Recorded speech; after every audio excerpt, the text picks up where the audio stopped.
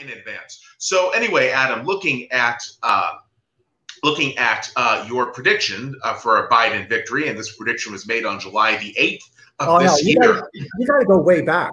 You can't just you can't just kind of pick that tweet because I've been tweeting about these things consistently. I use Twitter as a timestamp, right? And mm-hmm. I use it because you know most people you know will say something. You know most people are very reactionary on Twitter, and you know they'll uh, they'll tweet both sides of something, and then you know they'll say I was right that time, and forget about the time I was wrong because I could just delete that tweet, or you know I was in a drunken state or something. And uh, mm-hmm. I'm not. I'm a very uh, consistent person, and I've just been going along with what I've seen since you know 2015, 2016. I mean, I'm just continuing that that I'm just continuing that trend and kind of observing it, and uh, just watching as it gets further away from reality. And you get the trend, and you get the misconception, and it it's a bubble, right? So uh, I think of things in terms of financials and in terms of stocks and in terms of the markets, which is kind of my uh, alma mater, I suppose. So I, mm-hmm. I kind of transfer everything to a to financials, and I think of this uh, as a, kind of a run up in Tesla stock. I expected Tesla to go up, and you know, I uh, bubbles are bubbles, right? And, you know, you can't uh, you can't fight the bubbles sometimes. No, you can't. Uh, although I will say, perhaps some bubbles pop sooner than others, and uh, others are less predictable. But you know, uh, bubbles, the nature of them, I have no disagreement with what you just brought up. Uh, now, as to the what you think will happen in the event that Biden does win, uh, I found this very interesting. Uh, well, actually, I found all of it very interesting. But you are predicting a huge Biden electoral win.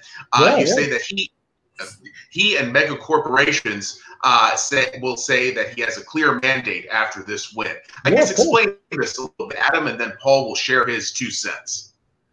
Okay, well, so I, I, I think it's unfair to start there because again, you're uh, kind of uh, putting a stake in the stream, and you know, uh, and uh, saying it starts there. And I'd like to, uh, I'd like to, you know, choose a spot much earlier in its path and and and begin, you know, the stream there. So you know, 2000, you know, 16, it really wasn't a surprise to me that, that Trump won. Um, it was uh, there were there were a lot of indicators, and the indicators were there from 2014, and you know everything was there. So uh, it wasn't much of a surprise, but it also uh, was part of the expectation he was going to win, and that he wasn't going to win 2020 because he could win in 2016 as the insurgent, right? Because they were not prepared for the insurgent. They didn't have um, they didn't have all the apparatus of state uh, aligned against them, except in a very ad hoc way, right? It was done kind of they a mixed match. They assembled a little bit of Google, a little bit of that, and at the same time, they're also relying on a lot of flawed algorithms that uh, had been built um, um, with the very wrong profiles. Uh, it's how you train these, you know, these algorithms and AIs, and uh, it was you know, with four more, they had four years to to improve those.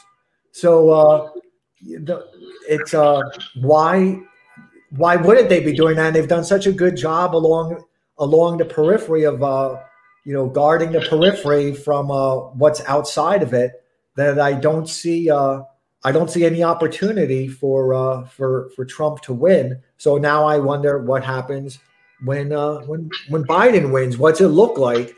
And uh, it's not only that, but they've also taken out um, the recourse for people who might object to it, right? And they've taken